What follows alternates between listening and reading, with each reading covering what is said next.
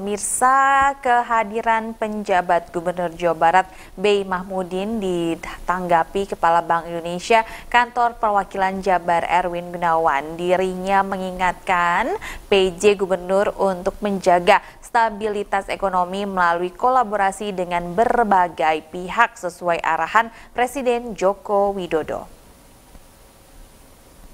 Ditemui usai kegiatan donor darah sinergi Ngabaraya BMPD dan FKIJK Jawa Barat, Kepala Bank Indonesia Kantor Perwakilan Jawa Barat Erwin Gunawan Hutapea menyatakan kolaborasi dan kerjasama harus terus dilakukan untuk menjaga stabilitas dan mendorong pertumbuhan ekonomi Jawa Barat.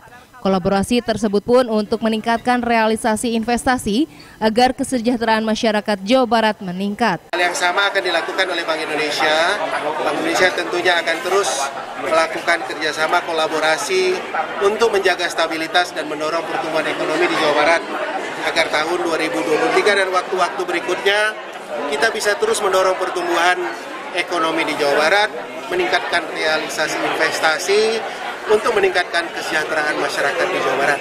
Alhamdulillah kami sudah berkoordinasi dan berkomunikasi dengan PJ Gubernur. Insya Allah kita akan terus melanjutkan kolaborasi yang sudah ada selama ini.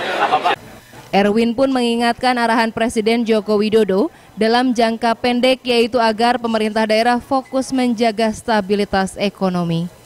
Budi Hartati, Bandung TV.